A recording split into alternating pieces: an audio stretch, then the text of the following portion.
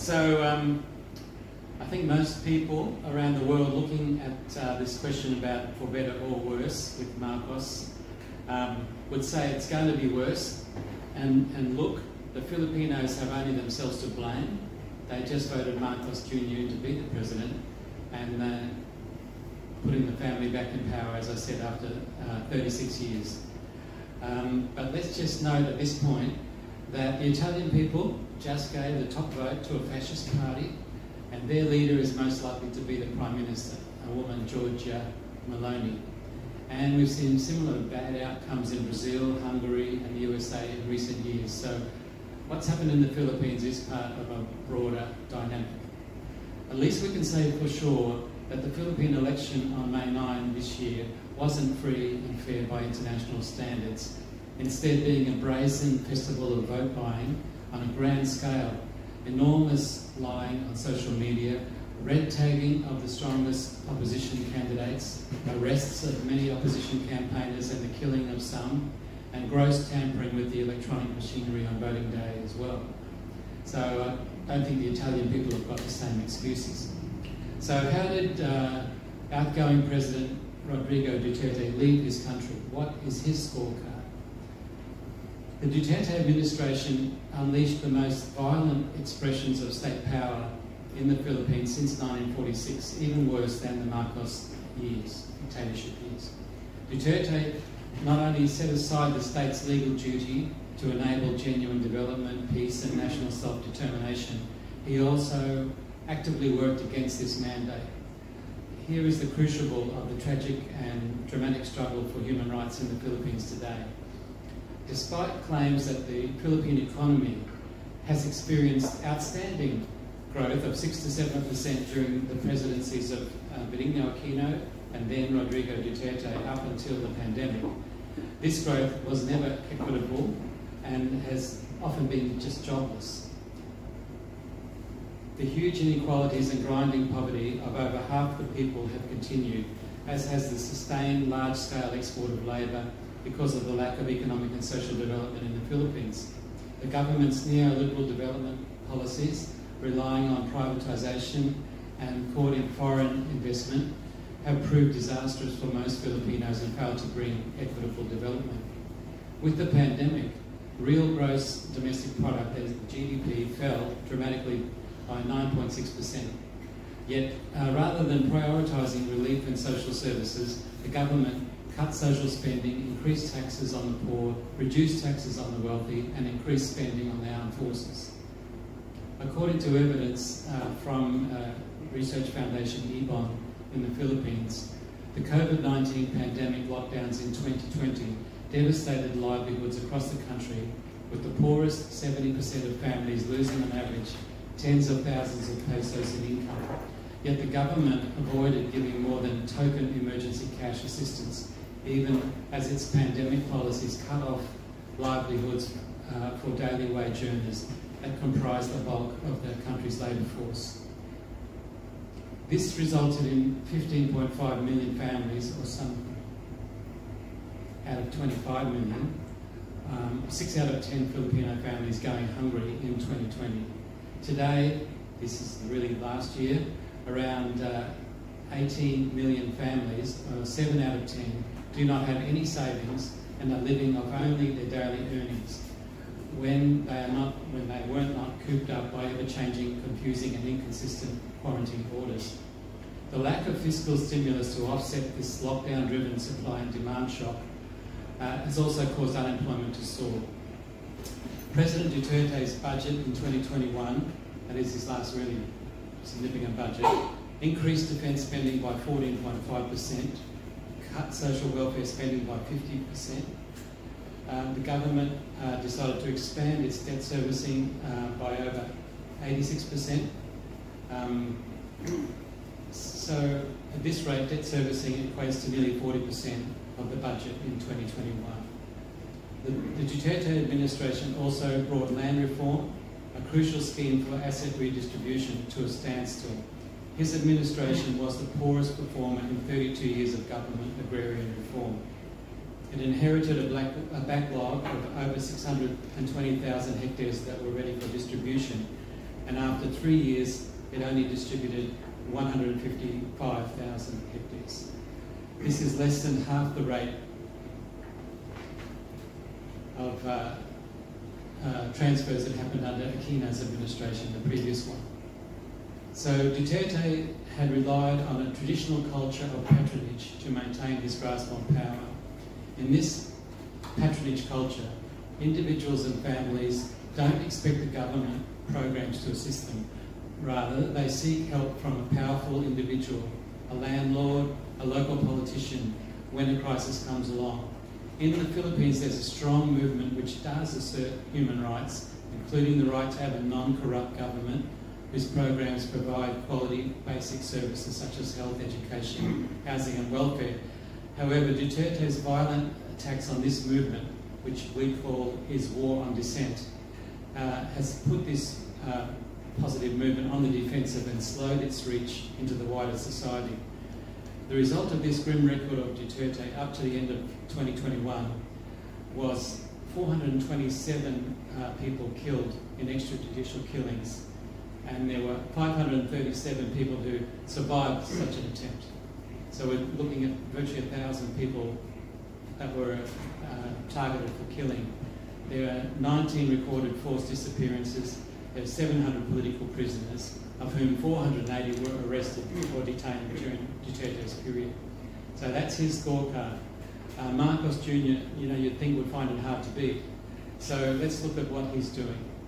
His uh, nickname is Bongbong, and I'll call him Bongbong or Marcos Jr. Um, he claims he only wants to unite the country. He speaks quite civilly. He hardly speaks at all, in fact. It's a great contrast from the foul, misogynist and gangster talk that regularly came from Duterte, who could barely finish a sentence properly. The conservative elite are saying, what a relief. What a relief we've got this Marcos now. But the first 100 days of Marcos have passed, and they already, already reveal that things will get worse, I believe. So looking at his uh, inner circle, chosen to run his office, um, he, he picked on three people. A guy called Vic Rodriguez, his executive secretary, he's already been sacked. Uh, Anton Lake special assistant to the president with a huge staff. And Zenaida Angping, who heads the presidential management staff. These three came from his campaign team and from his search committee. They had no other qualifications for these jobs save their close personal ties to Marcos Jr. and his family, which is really the, the norm for Malacanang Palace, except that um, they really showed themselves up to be amateurs pretty quickly. Rodriguez, um, he had taken all the flak for Marcos Jr. during the election campaign because Marcos wouldn't give any interviews, he wouldn't answer any questions. There was a, a lot of pressure on him on that, and this guy just uh, deflected it all. So he was rewarded with uh, enough power that Bongbong probably felt he could handle. Lagdameo is an old friend. He was put there for Marcos's personal requirements. Angping was the campaign treasurer and a long-time aide uh, on the Ra Ramal, Ramal, Romualdez side of the family. Um, and he, they're there to make sure that presidential events and ceremonies are really what Bongbong wants. Imelda Marcos is from the Romualdez family, so that's that side. But on the second day of the new administration, so we're talking about July 2, the palace began leaking like a sieve. The president had decided to veto a bill creating a huge uh, construction project called the Bulacan Airport City Special Economic Zone in Freeport. And this damaged the interests of a tycoon called Ramon Ahmed. So there was an immediate uh, blast back, and Rodriguez copped it on uh, YouTube and TikTok, and uh, and he's gone. Um, the running joke at the time was that um, with Rodriguez, so long as you had Gcash, you, you get a job. So Malacanang Palace is now teeming with new undersecretaries and assistant secretaries, lawyers, friends of the family, campaign supporters, some well-heeled, um, and most of them new to government um, but there's plenty of taxpayers' cash to pay for them. The mayhem um, was reined in by uh, an official from the Aquino period a lawyer called Paquito Ochoa Jr. Ochoa Jr. So the wash-up was that Ochoa's brother-in-law, um, Jose Acuzar, is now a cabinet secretary. Uh, so you can see that Team Marcos was really not prepared for a proper transition. It's a bunch of family mates and hangers-on. And when he took his oath on June 30, he, he hadn't even chosen a foreign secretary, a person to run the energy problems, the environment and natural resources, science and technology, among other critical appointments. Bongbong just couldn't deal with the competing voices, people say. While Rodriguez headed the official search committee, the First Lady, uh, Liza Araneta Marcos, who's a lawyer, she led her own search efforts with the help of at least two members of business families. And uh, the Speaker of the House, Martin Romualdez, cousin, uh, also started interviewing people. So um, I don't think we should be looking for competence from uh, Bongbong's team, um, but really should that be our main concern. Uh, Marcos Jr. appears to have made an early break, appeared to have made an early break with Duterte as far as the war on drugs was concerned. Um, he was in New York at the UN recently, maybe you saw him on TV. Um, he said uh, Duterte's people went too far sometimes about this. Uh, so is this, was this posturing? Uh, I, I, think so, myself. Uh, as far as I know, the, the directive, you know, knock, knock, talk, talk, talk hang, uh, it started in 2016 under Duterte, is still in force. Bongbong has made appointments to reduce the influence of Duterte all the same. Um, and the most significant one, I think, was that uh, he appointed a different uh, head of police from the one that Duterte had put in the job just before the elections. So um, the, the, the, Duterte person was shunted off to a sort of sideline job in Mindanao. Uh, so uh, some people say, oh, this is good, you know, it means the drug war is over. But in fact, it's part of a bigger pattern where the Marcos side have been pushing Duterte people out, the Duterte family pushing back.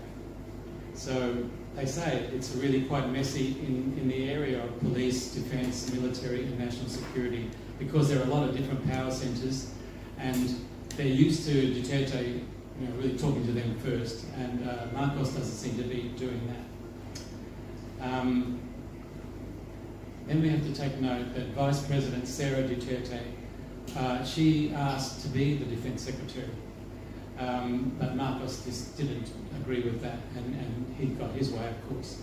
So there's a tension between the Marcoses uh, and Sara Duterte and the Duterte family, I think. Um, and I could say this, that you know, Bongbong looks really lazy, but Sara Duterte is a really high energy person. She really did get um, the consolation prize, I think, of a very big um, discretionary budget for herself and she became the education secretary. That's extremely unusual in the Philippines for a vice president to hold any such cabinet post. Also, Bongbong became the agriculture secretary. That's also completely weird, uh, but you just expect something bad to happen. Okay. So um, they say all of this infighting is, is particularly ugly in, in this particular transition, more so than in previous ones. And uh, it's important to note that Liza uh, Marcos, Liza Araneta Marcos, is, is quite a strong player in this. To join us? Yes.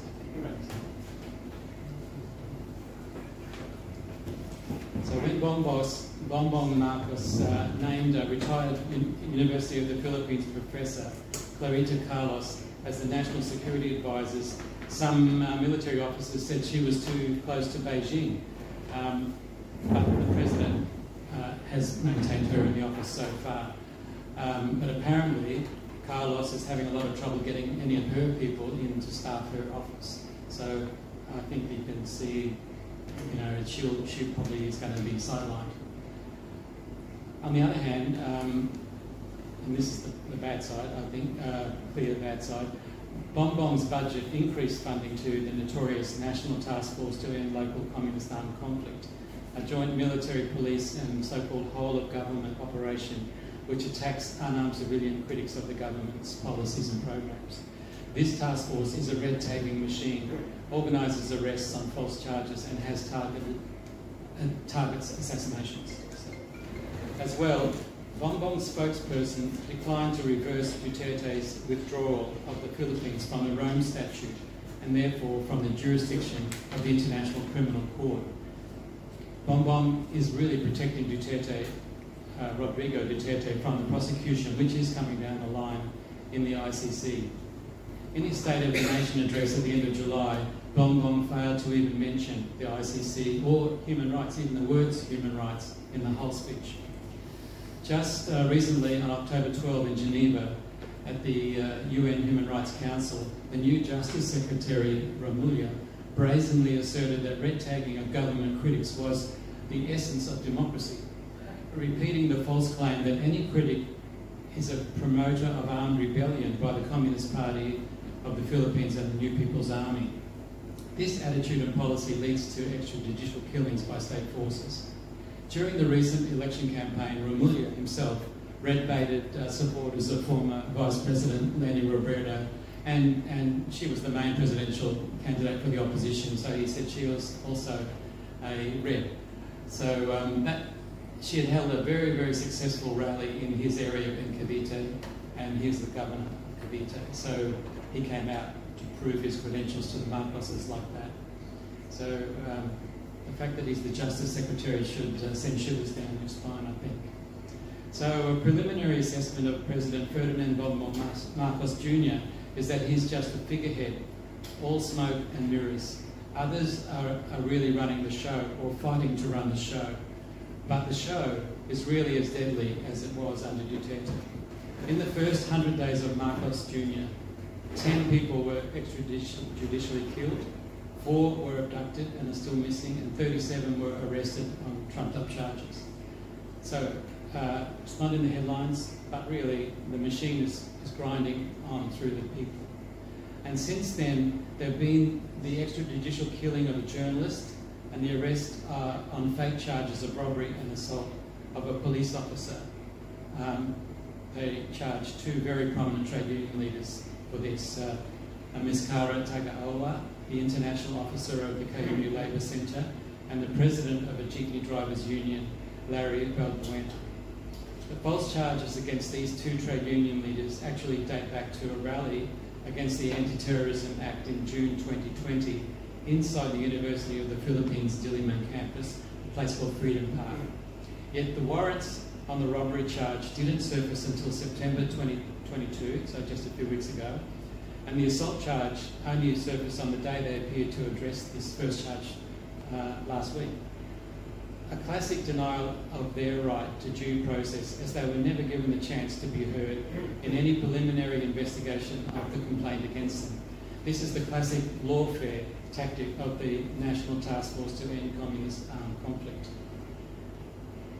So among those targeted uh, since June 30, that is in the term of the new president, uh, Gary Campos, a LUMAD school teacher arrested on July 17, Kylene Casao, a nine-year-old peasant girl who was shot dead on July 19 in Batangas. She was in the fields with her family doing agricultural work. And Percy Lapid is the journalist I just referred to, a broadcast journalist critical of the current administration, shot dead by a hit squad on October 3. 16 members of the rural missionaries of the Philippines were charged with providing funds to terrorist organisations on August 15. It's another classic red tape. So these are clergy and uh, lay people, mainly Catholics, um, who work in that countryside. So um, it's been a sustained campaign by the, uh, that National Task Force against the rural missionaries of the Philippines for several years now. Marcos, uh, his first 100 days in office have also demonstrated a, a lack of genuine solutions for the economic crisis in the country. The issues of low wages, contractualisation, lack of jobs, landlessness and debt continue to plague the people and inflation has hit a four-year high in September, like it has around the world. His economic team are technocrats who will operate interest rates and government spending levers to please the markets rather than address the dire needs of the people. How does he intend to ease the burden of rising prices? particularly food and fuel, on the poorest of the poor. He did promise to do it in his uh, inaugural address, but he hasn't done anything. Um, what concrete plans does he have to solve the problem of mounting joblessness? Where does he stand on the question of taxing wealth itself rather than just income and consumption? Does he have any long-term program to solve the chronic homelessness that afflicts the bottom 30% of the Filipino people? Marcos's recent visits to the US, Indonesia and Singapore in September and October are notable for their vacuous statements and little information. And in fact, one of them was just to attend the Grand, Prix. That was a second trip to Singapore. The new administration has also failed to engage in ongoing diplomatic and judicial processes which could provide a solution to the human rights crisis. These are the International Labour Organisation's proposed high-level tripartite mission to investigate the killing of labour leaders and union members. And um, there's also the UN Human Rights Council processes, which um, you'd have to say Justice Secretary Remulla was laughing at when he made his speech. There's the International Criminal Court, a real opportunity for this president to say, let's have a good look at what happened and get the facts. But that would protect his country and his presidency from the criticism which will come for sure, um, that he doesn't care about human rights. And then there's the peace talks with the National Democratic Front of the Philippines, which is still sponsored by the Royal Norwegian Government as its third party sponsor. So my organisation, the International Coalition for Human Rights in the Philippines, has called on the new administration to seek genuine solutions to the problems of the Filipino people and to address the ongoing human rights crisis through both domestic and international mechanisms. We've asked the international community to remain vigilant for the next 100 days and onwards and to continue campaigning for an independent international investigation of the human rights situation in the Philippines and for a just and lasting peace in the country. Let me conclude on the specific Australian angle. Australia has a visiting forces agreement with the Philippines. Australia has an enhanced defence cooperation program with the Philippines, uh, which before it even was enhanced uh, a few years ago was $42 million. Since then, the, the budget line is, is, is deleted. We don't know the number. Um, Australia's official civilian aid to the Philippines is about $70 million a year, but it is integrated into the counterinsurgency program. In other words, Australia is deeply engaged in the human rights abuses I've been talking about and has been so for the last 40 years, whether it's Labor or Liberal. It takes a lot to turn around the Titanic, but the new, new Albanese Labor government does have an opportunity to review this situation now. For sure, the two ministers, Senator Wong and Richard Marles, cannot say that things have improved under Marcos Jr. Unless there's more community and media attention paid to our Australian role in the Philippines, the current policies will just roll on. They will roll on to an even bigger disaster for the Filipino people and the danger that Australian troops would become directly engaged in armed conflict in the Philippines, not only training, equipping and financing the Filipino security forces in their illegal repressions. That's my picture. Thank you very much. Peter, for setting such a challenging picture. Uh, first, let me say that I was in the EDSA revolution that removed Marcos. I will admit that, I will disclose that, and I will not disown it. I will not disown it. I was in the People Power Revolution in 1986 at removed Marcos. That's great. but I want you to imagine this scenario. Two parents separate. The disappeared parent is badmouthed by the parent that stays and raises the children. And everything that the parent accuses the absent parent of, they witness and experience the very same thing as they grew up to be adults. And Put yourself in the child's shoes. Whose sympathy would win the child? The present parent, from which she hears accusations of another parent and experiences it for himself or herself. Or the absent parent, be natural for the child to say, Was my parent, was this parent lying to me? And that pretty much is the theme of what happened after Marcos. What was Marcos accused of? Land larceny, plunder. Yeah, 30 years of Filipino generations experienced it. Human rights violations, military police atrocities, they experienced it also on bigger scales. Why? Because now it wasn't just one person, one family being accused of, of, uh, of grand larceny. It was different groups, new oligarchs, old oligarchs coming woodwork. And atrocities committed by not just the police and the military, but also by private militia, private armies of new politicians, even by the NPA Communist Party, which they cannot deny because they, until now, fight against each other for the very purges they committed against themselves, against each other. So is that such hypocrisy? I must say, is what offends Filipino people, like myself. I am offended by that hypocrisy.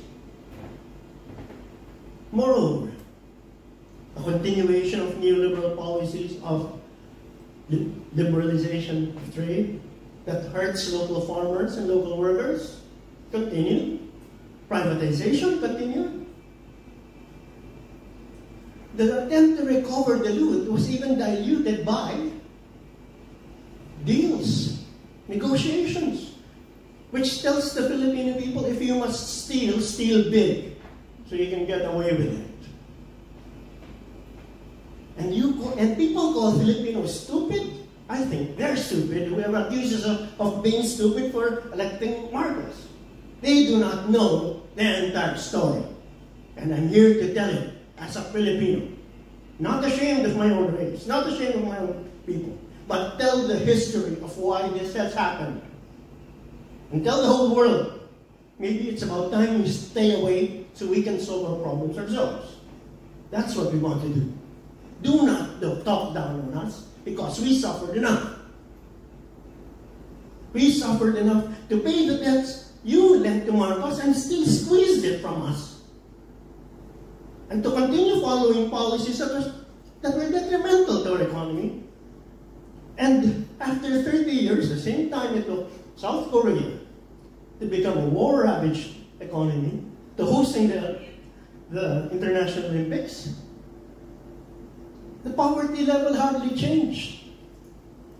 There were still 20 million people, over 20 million people, suffering below the poverty line after all those years.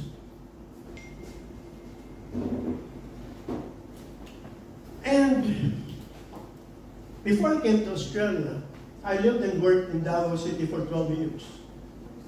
I must say, I had rather lived in Davao City than in Manila or any place in the Philippines. Because I saw the progress of Davao City at the time. It used to be a killing fields and a war zone. Duterte became pres, uh, mayor in 1987, and, and I saw it transform from what was it was described as a war zone and killing fields to, by 1994, it started becoming, guess what? a premier tourist destination. And not only that, Davao City became the first hub of the Brunei, Indonesia, Malaysia, Philippine, East ASEAN route there. And what did that mean? What did that bring to the region, which Metro Manila could not do? There was peace. Why? Because the predominantly Christian Mindanao was doing business with predominantly Muslim neighbors. And so Filipino Christians began doing business also with Filipino Muslims. There was peace. The Moro National Liberation Front became irrelevant. And what happened from 1994 to 1996? Suddenly, Ramos had this bright idea, talked to the Sultan of Brunei and other chiefs and said, Oh, I've got billions of dollars so that there will finally be peace in Mindanao. And we in Mindanao said, Huh? We already have peace. We will bring billions of dollars to negotiate with the MNLF to cease hostilities. we already have. I was already traveling to places that were once branded as critical. So what's happening here? It says, okay, we'll give it to the MNLF to appease. Well, there is a big warning there because the MNLF was not just one monolithic group. There were the Maranaos, the Tausugs, the Magindanaos. And they, we said, if you give it to one favored group, there will be a splinter group. And lo and behold, a splinter group did happen. The MILF spun off. And to make matters worse, when, when uh, Estrada was elected, the stage movie action star was elected, he declared war on the MILF. I even narrowly, I, I even narrowly escaped the carpet bombing of a village by a few hours while I was in the area. Quite frightening because it looked like a ghost town at the time. And by the time I got to the city, I saw on TV that they were bombing it with mortars. So it was a big disappointment that Metro Manila dares tell Mindanao how to run its affairs when we were doing it well ourselves. And here's the thing. Duterte was praised by every presidential candidate in 2016 for being a model mayor. That Davao, every city in the Philippines should be like Davao. Until he ran for president. And that's when they used all, all, all the flotsam and jetsam at him, which didn't stick. Because Filipinos don't have that short memory. And those who did experience Davao shared the story. I was one of them. But I wasn't telling people to vote for Duterte. I was just simply saying, hey, let's level the playing field of information. During the, the devastation of typhoon, Yolanda, for instance, the national government, while the national government was making a mess of distribution, Duterte came there as the mayor of Davao with a convoy of goods, which was not enough. But he proved himself more competent than national government, and that's what caught the national eye. Who is this guy? This dirty, tough-talking, you know, dirty talking, dirty, tough-talking president. I mean, uh, mayor, right? They just they investigated Davao. They said, hey, you're right. Davao is better than Metro Manila. Better than Metro Cebu. Better than any of the major metropolises of, the Philippines. He got rid of organized, he got rid of drugs to the extent that, at the lower extent that no other city in the Philippines could. And so everyone said, we want to be like Davao. We want to be like Davao City. In Davao City, even the NPA the New People's Army, had a funeral cortege and parade uh, procession for a fallen comrade out in the open streets, which you could not do anywhere in the Philippines. He passed a law that, uh, that, that allowed, that forbade, prohibited discriminations against gays, against Muslims, or any other religion. He had free uh, cancer treatments, free dialysis. He had a 911 that worked better than Australians. So, can you blame the Filipinos for voting someone like Rodrigo Duterte? You couldn't.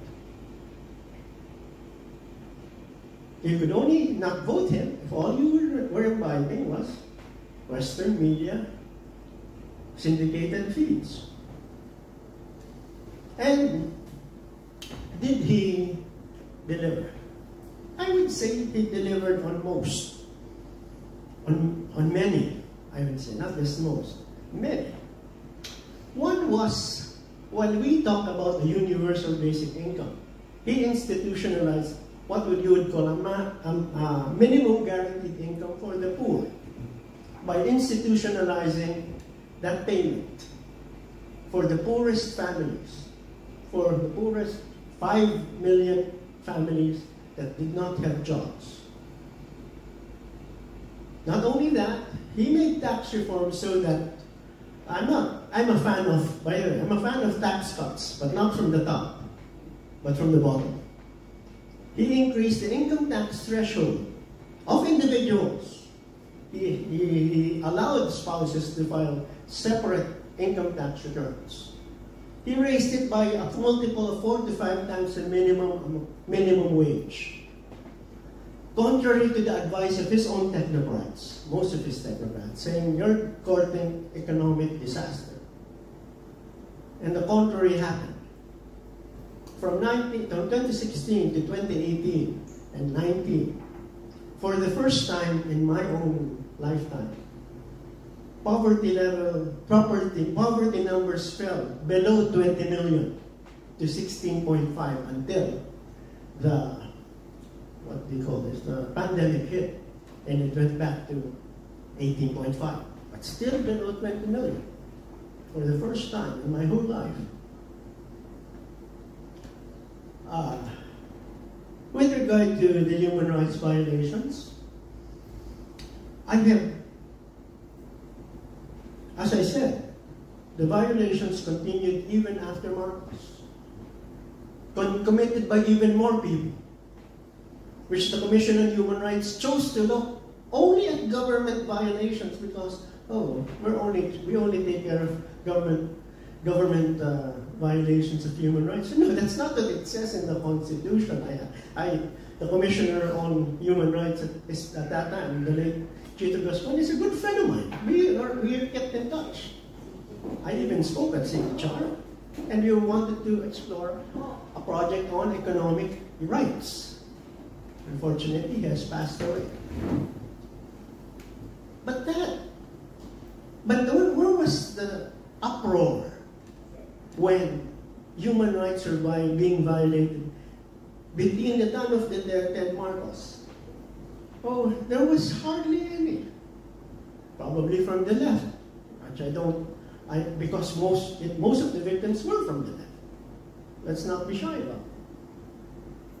But there were also in innocent collateral damage from indigenous peoples.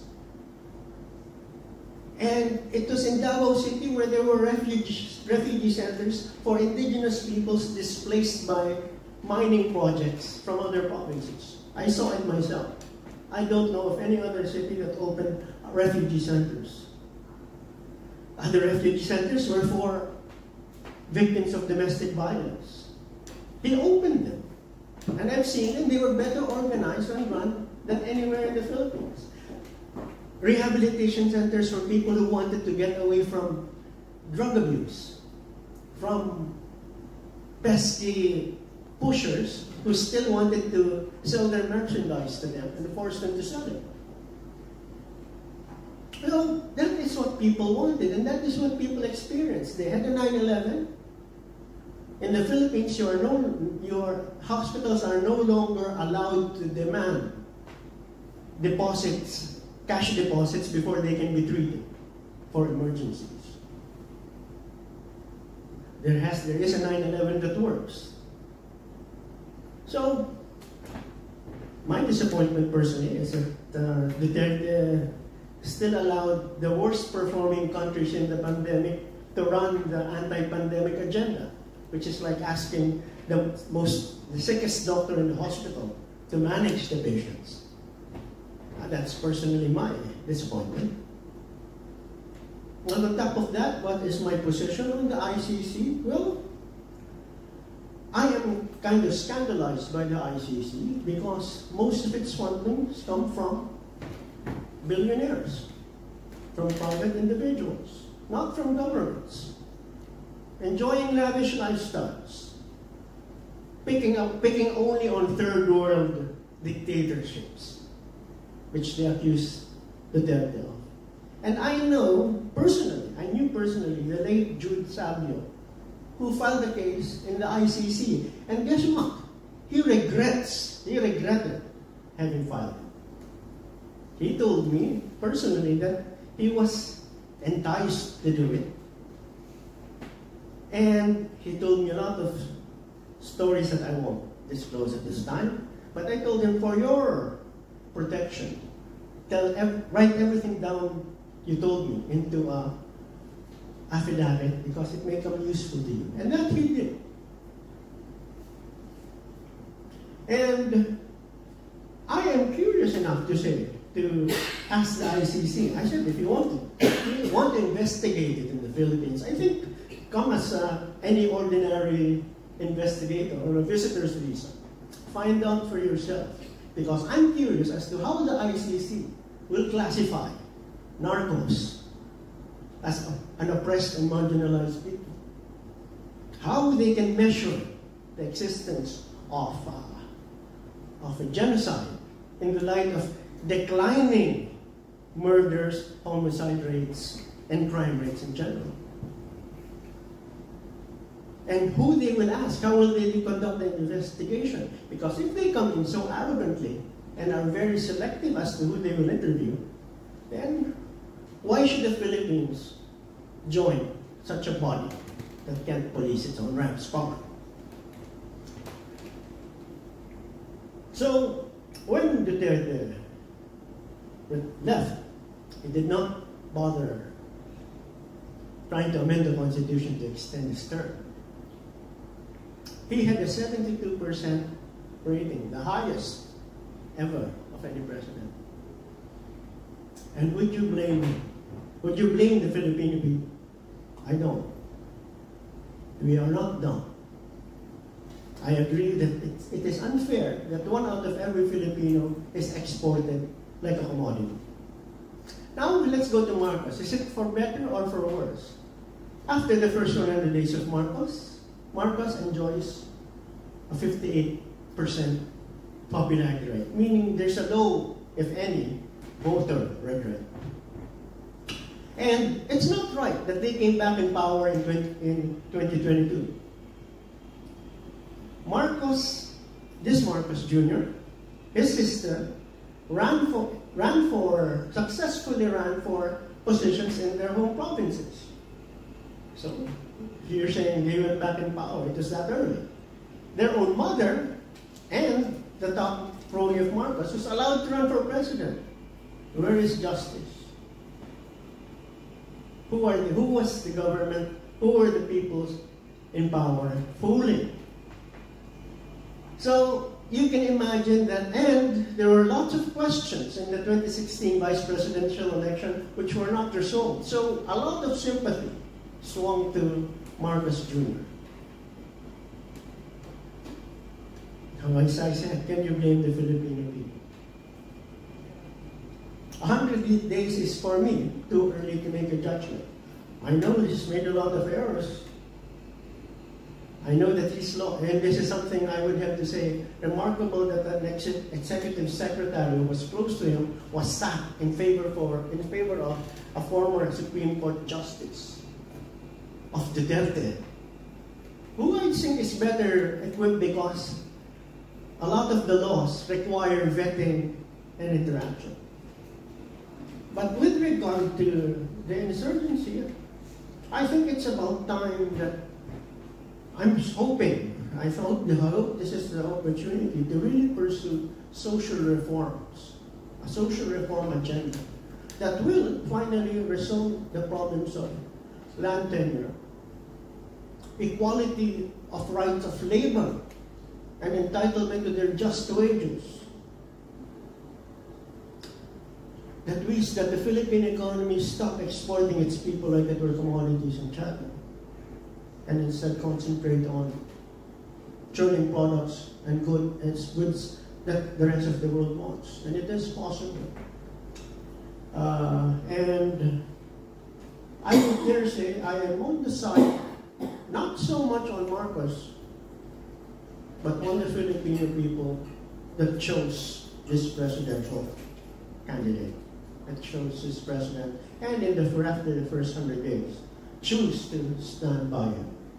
I think it would be better for the world to learn to respect that and learn to understand why that has happened. Thank you.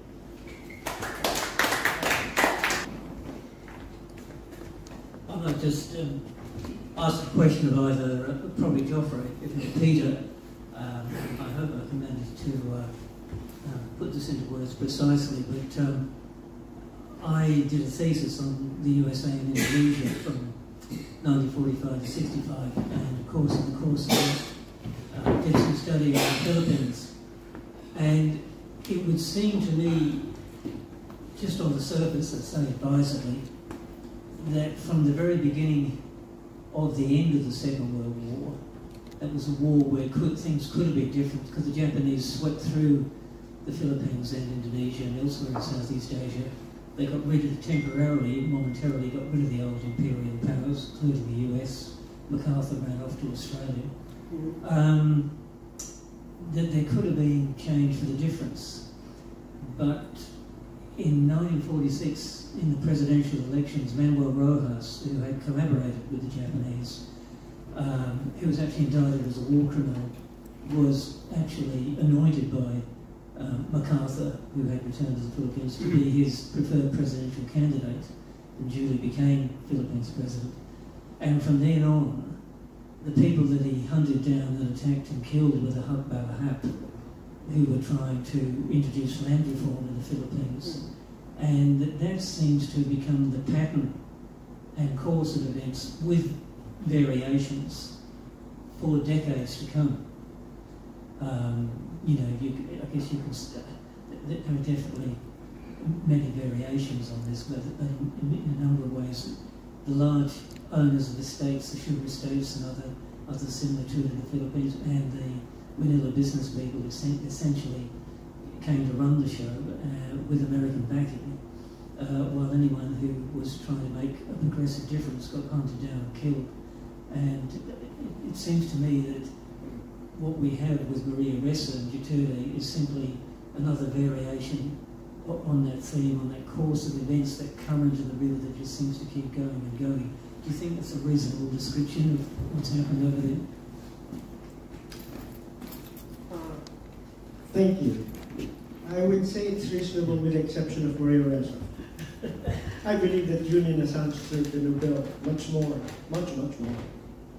But the problem that you correctly described goes all the way to the Filipino-Spanish Revolution, right? The revolution in Spain. the American invasion.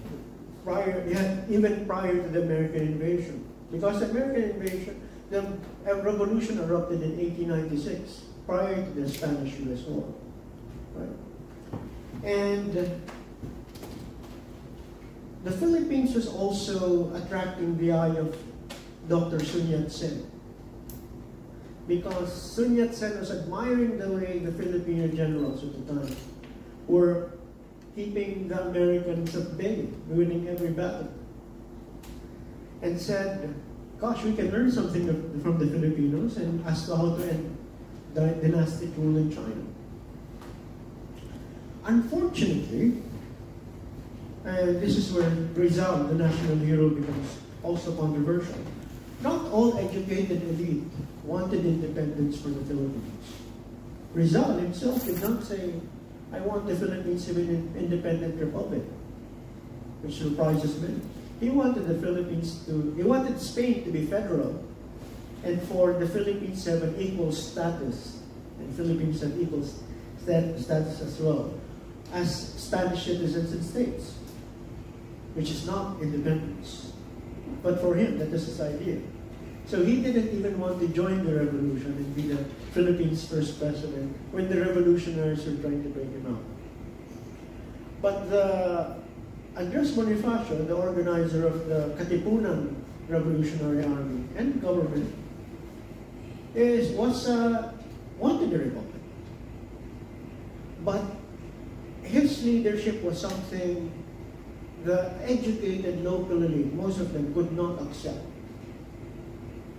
And so they really railroaded the revolution to marginalize and exclude uh, Bonifacio and eventually have him executed summarily along with his brother. And the elites over time collaborated with the Americans to diminish the power of the revolutionary government by betraying the very generals, assassinating them outright at times.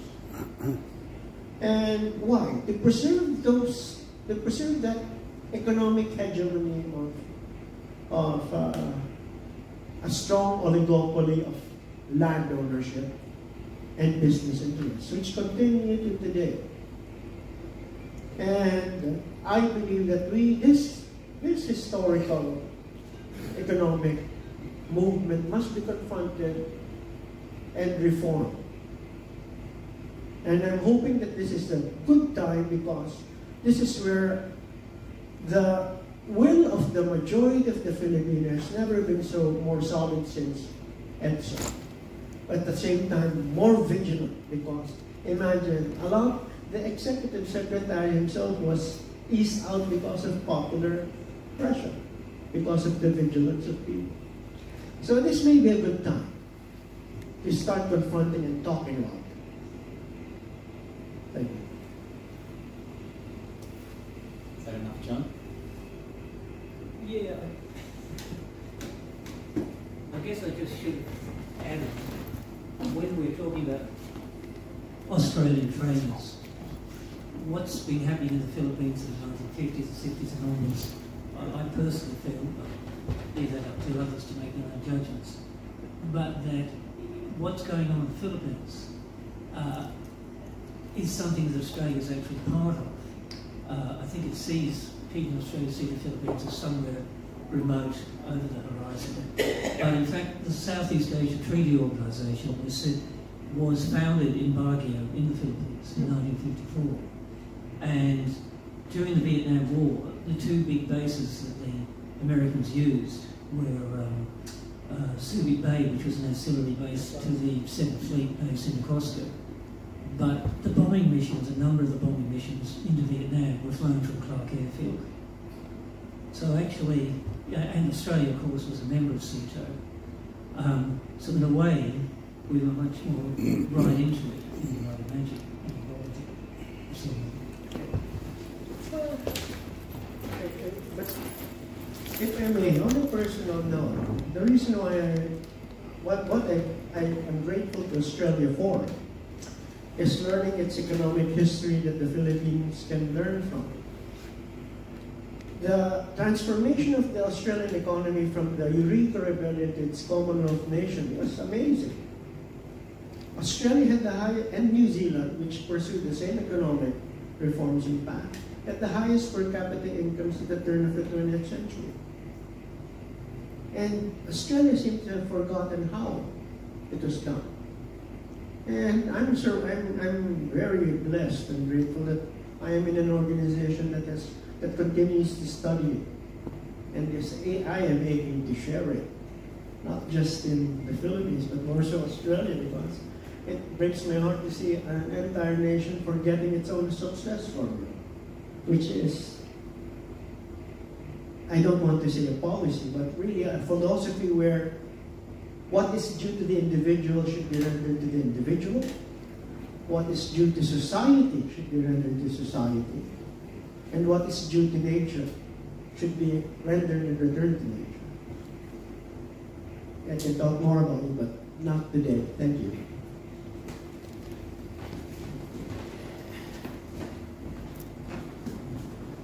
Hello, uh, my name is Edwin. Uh, you know me? Yes, of course. You know that uh, Rodrigo Duterte uh, was close to some drug, known drug lords like Peter Yang, Peter Lee, and he released several uh, known uh, convicted drug lords from prison. I'm not sure if he, uh, what do you call this, he uh, pardoned them. And then uh, we also know that many of the known, uh, the known drug lords in the Philippines, like, I mean, alleged known drug lords like the Parojinogs, Espinosas, And uh, there's that mayor in uh, Batangas who was uh, killed by a sharpshooter, and some others. What do you say to the allegations that Duterte is only eliminating the uh, competition in the drug business and that uh, he himself is a drug lord? Okay, Thank you. thank you. So, you want to answer that? Or, okay. I'll speak. That's a very, I, I like that question because I can't answer it in a short sentence, but I would advise you to watch Peaky Blinders on Netflix because it's, it, it sounds like a very similar plot that happened in the UK where organized, where the politicians had to learn how to deal with organized crime, right? That it's not why it's here is the problem with say the Colombia cartel after after uh, after what's the name of the Pablo Escobar, right? He chopped chopped Pablo Escobar's head off, and what happened? Hydra, a lot of Hydra heads popped up, right? So what would have been the what would be a better way is to control some, let some off steam, keep them on a very long range. Because the ultimate measure of a success in an anti-crime anti-crime campaign is less crime. And we have I, I even personally say I feel safer in the Philippines walking the Philippine streets after the death than before the death. And that's a very personal very personal and heartfelt opinion.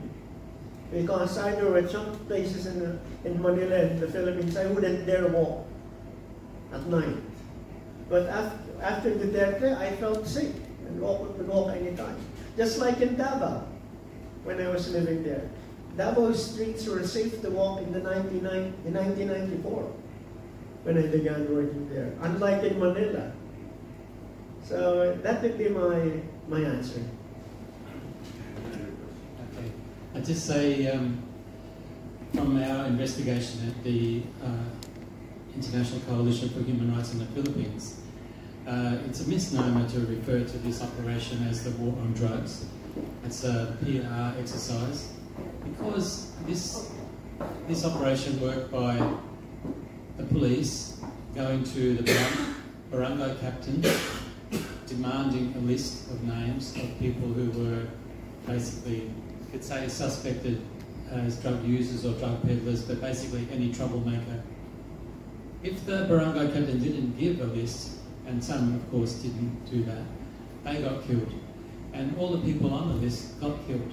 That's why it's such a huge death toll.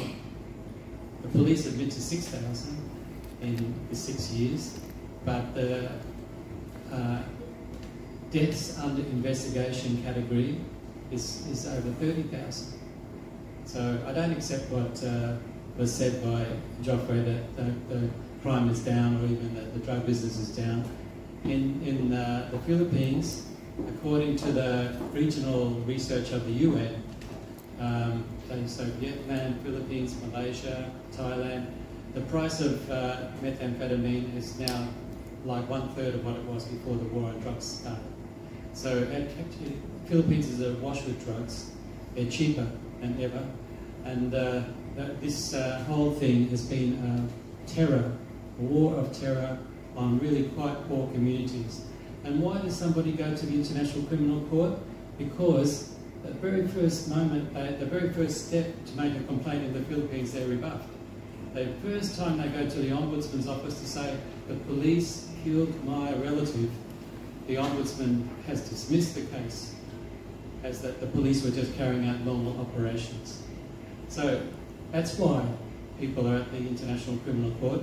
And of course, I think we should criticise the International Criminal Court for its uh, obvious uh, profiling or focusing on uh, people like the President of Sudan or from uh, Sierra Leone or Ivory Coast.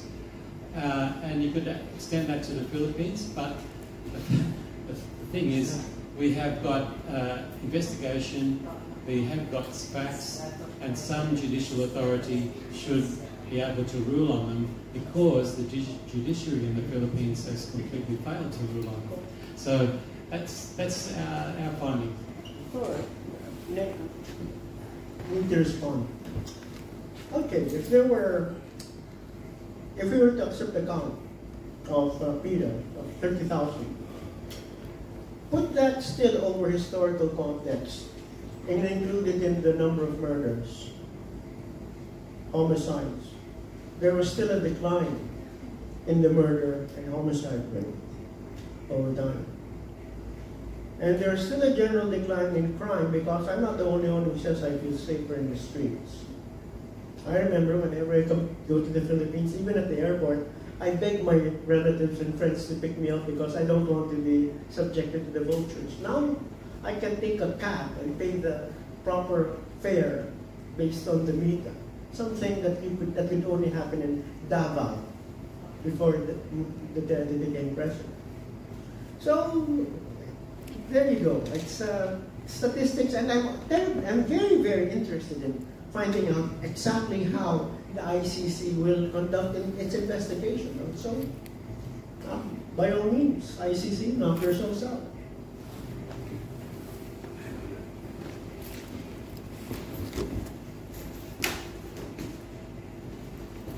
Yes, uh, earlier you praised the Duterte for uh, eliminating uh, crime and uh, disturbances in Davao City.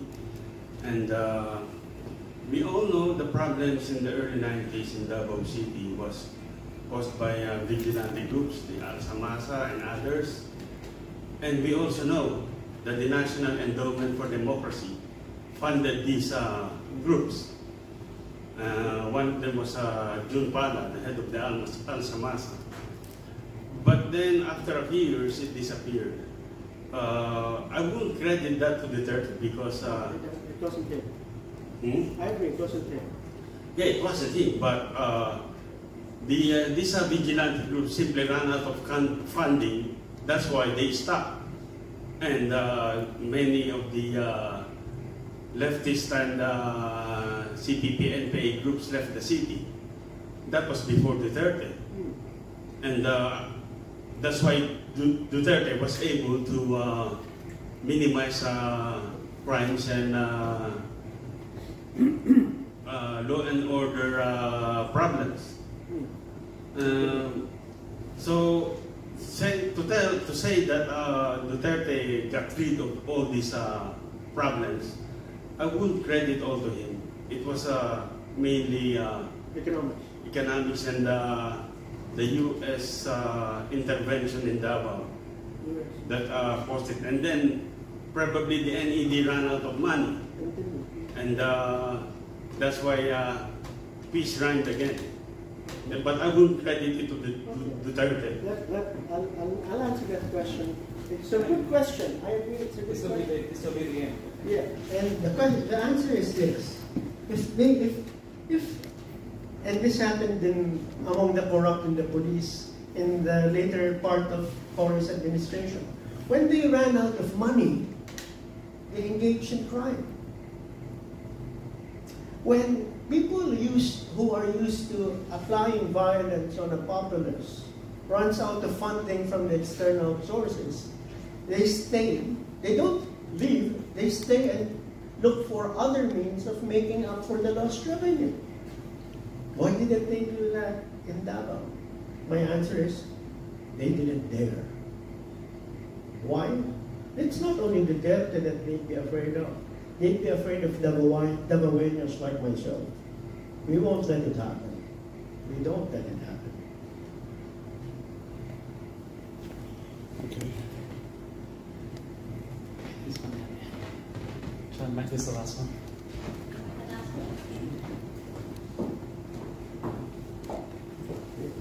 Well, thank you very much for those, you know, enlightening discussions, right? But um, I will share you what I've experienced because I went to the Philippines during the election. One or last? Just this, this residue. Um, our house, which is quite near before the mga police, because we are near the, municipal hall. Ah, the precinct, That's right, in Capas Tarlac. Okay. So more or less, you have to say that we will be safe, right? And I was told by a lot of people in there that the first thing that they do during that, like, you know, the drugs, is to get all the people who are supposed to be drug addicts, and they bring them all in the municipal hall, go around the town to present them that these are the people. The thing is, did it stop? It did not. It's because it's showing that these are the small, these are the small people that you take. You don't take the big people. And that's why I always have been asking, so how about those extra judicial killings? Because we went, I went to the, um, what do you call this one? These are the ethnic groups in our town. They call them the What Aitas. province? Uh, Tarlac. Tarlac. So these are the Aitas people. And then I've asked them about it, you know, because it's very, uh, what do you call this one? It's being promoted. It's being promoted in our small little town. Because now our town is no longer considered a small town. It's like a small little city. We have, you know, we have small little, um, hindi na yun, um, Progress came to Capas. that is right. Yeah, it's very, you know, when I go there, I grew up with, surrounded by rice field. Hmm. Now, there's no more rice field. It's all full of houses. Mm. Well, I'm lucky, you know, my, my parents were really, uh, what they call them, landlords. But it's not that, um, it's not the solution for it. And so a lot of, a lot of houses were all made of, um, they're not concrete. And so I asked my, my sisters, she's been living there for such a long, long time. And I said, so what's been happening? Was there less drugs in the, you know, in our, um, in our town? She was saying, you don't see them, but they are there. And you can be saying that there's less, um, what do you call this one? Less crimes, but it's not. Probably you might be lucky in the bar that you can be walking around. In our place, you can't be doing that. Uh, Can I ask what the, who the dominant families are in Tarlac? The dominant family. Well, the one near? Tarlac will be the Aquinos. Okay, thank you. And who's, and the others? Uh, de Lucia? the Cojuangco, yes, Okay, that's you. right. I yes. think the people should know that. It's not the Dutertes, it's not. No, no, no, no, no, no. I'm, I'm, not, I'm not saying that that is a different. It's supposed to be during, supposed to be the Aquino time, because this is what we've yes. always been seeing, isn't it? During the Marcos time, the one that benefits are the one within your provinces, right? But then again, we were supposed to be benefiting in, you know, during the Aquino time, but it did not happen. Is it because um, the the people who are in power? We don't really know, right? But yes, in our the one during the election, the one who were empowered was a new was a new uh, people.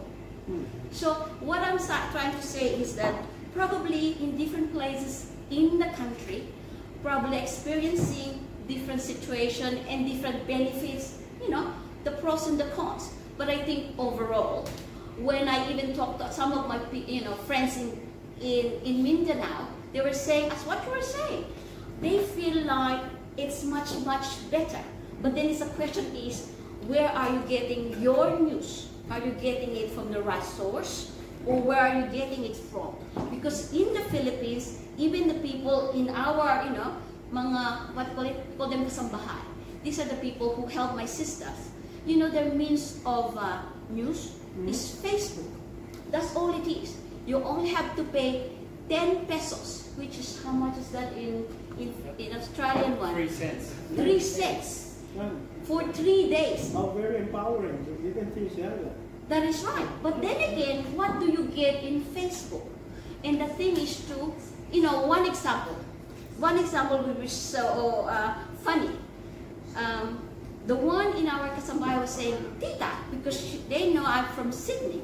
Wow, the Sydney people are really congratulating uh, Duterte and Marcos because, you know, the, the Sydney Opera House Yeah, that was just it was there, right? But it was not even during the uh, the vivid. It was not even there. But because that is their means of news, they thought what it is. The same with, you know, Queen Elizabeth congratulating, you know. And the, and the very same news media was using That is right. that, right? But it's, that's what I was saying is that some places might be receiving the real news or not. Mm. But if you are just like Fox News, if you're just listening to the same news again and again and again, you thought that was the real thing. Yes, yes. Sorry, it's just it's just quite long. I was just trying to, you know. No, I, I, I, I agree. That's why uh, uh, vigilance isn't a one-time deal. The very same media available to your enemies is also available to you. You've just got to learn to mind and investigate yourself. Uh, a comment also on why drug drug prices are falling. It's a bit of economics. It's not because necessarily because supply goes up, but demand has certainly gone down. I've spoken to a lot of former addicts and said, I'm glad I got I kicked out that habit. And I'm glad that the, the drug dealers aren't in the neighborhood anymore. Because now I can finally do my living as a cab driver, as an Uber driver, or a vendor. So that would explain also why prices of drugs fall. Thank you. Okay, we're going to finish there. We've gone a bit over the time. So please, uh, you can thank Joffre and thank me. Okay.